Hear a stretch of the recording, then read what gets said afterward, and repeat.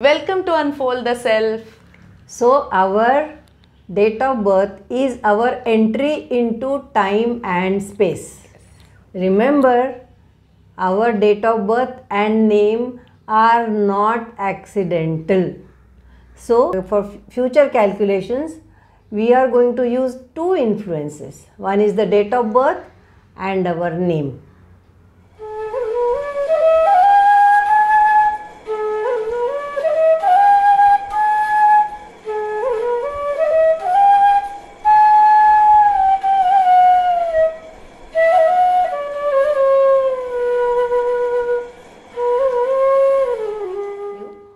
Learning numerology, we need two pieces of information. One is our date of birth and other is the name. So before we actually start learning the uh, the calculations, uh, please show our viewers how to do the basic uh, re- reduction into a single digit number. Okay, ma'am. Okay. So uh, Pragati, for basic calculations, you tell our viewers how to reduce the numbers. Okay. Say for example, you take uh, 13. 13 is what? 1 plus 3 is equal to 4. Correct? Yes. Uh, you write 26.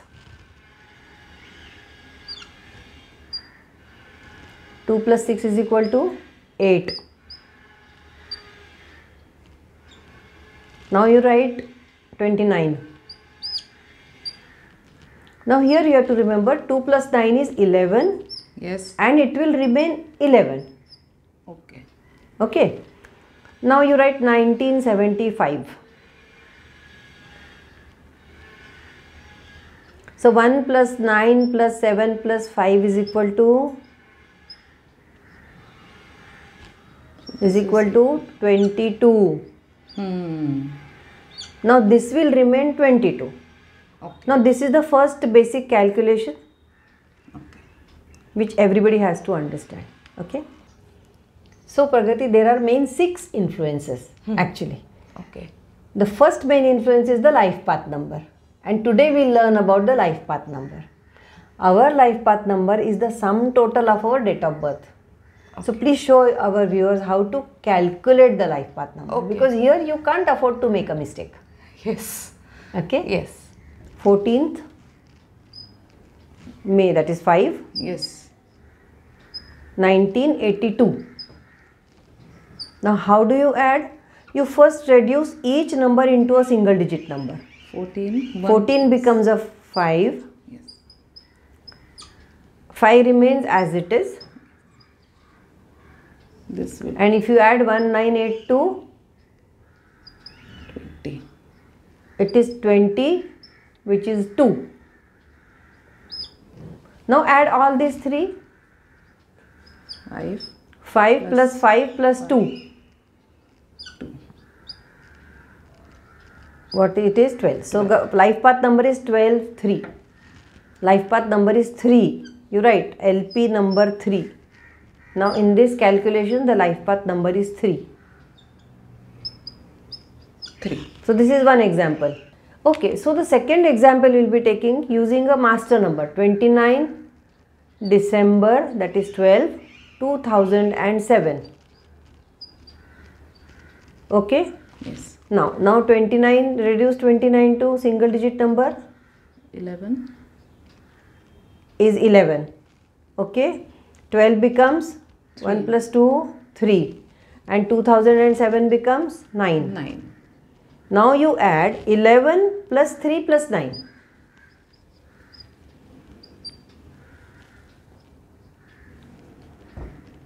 Twenty-three. 23 and 5. So life path number is 5. Here the life path number is 5. Okay. Now we'll take one more example. LP number. Okay. Okay. We'll take one more example.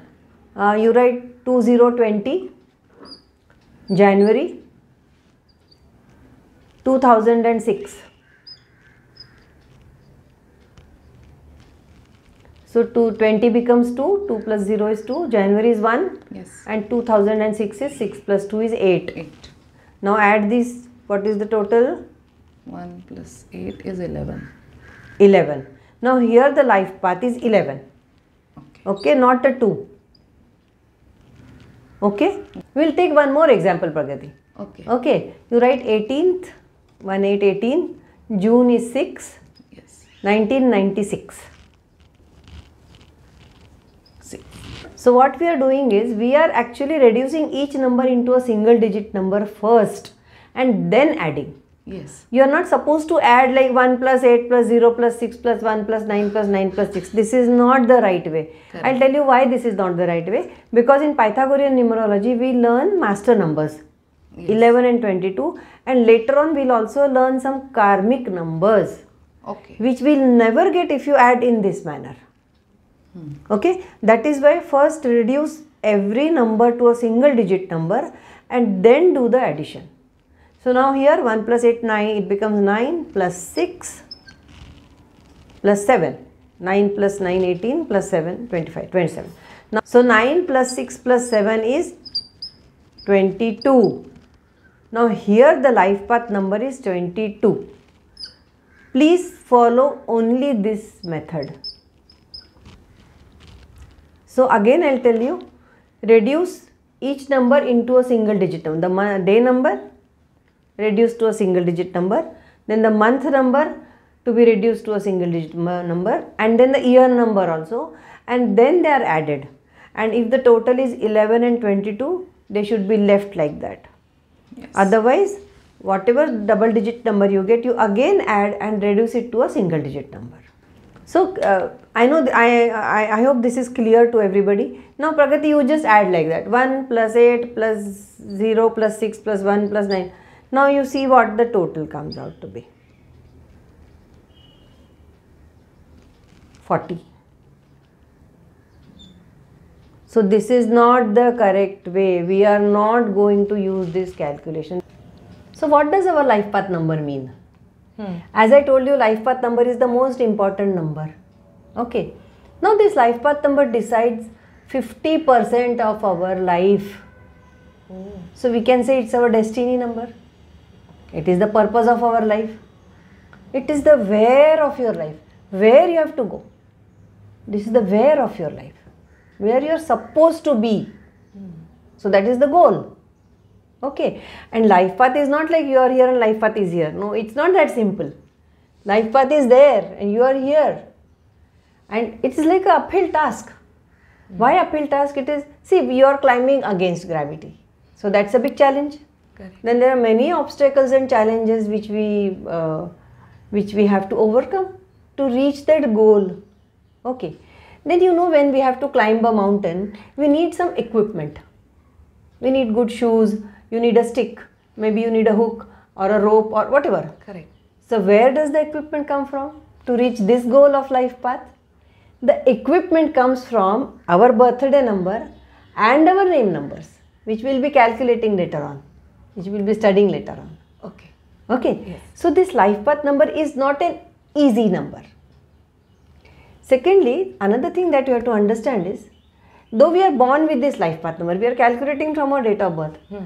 But in the early childhood, that person doesn't understand the meaning of life path number. Though the characteristics of that number are dormant in that person, but that person is not aware of those numbers.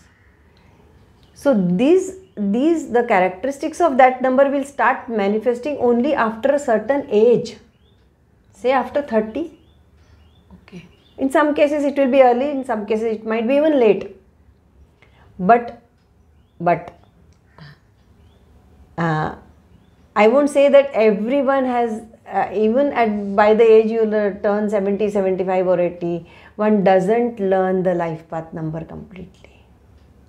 So there are we see so many people who learn very early, some people who just don't learn their life path number.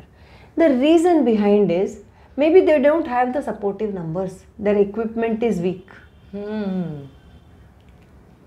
Okay. Understood. So that is the most important thing you have to understand. So this is the goal of your life. Okay. Okay. Now on this path you will find opportunities. Hmm. On this path you will also find obstacles, you will find challenges, there will be red flags, there will be sometimes there will be nice green tree where you find the shade, Sometimes long patches of aloneness, there is nothing. There's some patches where uh, there's a lot of greenery. So all sort of combinations. Okay. So for some people we say that the life path is easy for them because the numbers are helping them. Other numbers. Whereas some for some people we see you know that they have difficult lessons in life. People face a lot of difficult lessons in life. So for them learning the life path becomes little more difficult. Okay. So this will also tell you what lessons you are going to encounter.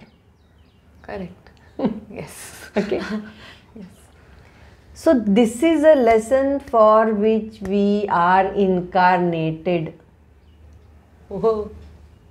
So understand everyone, unless you learn this, there is no mukti. If you don't learn your life path lesson, you are going to take another birth.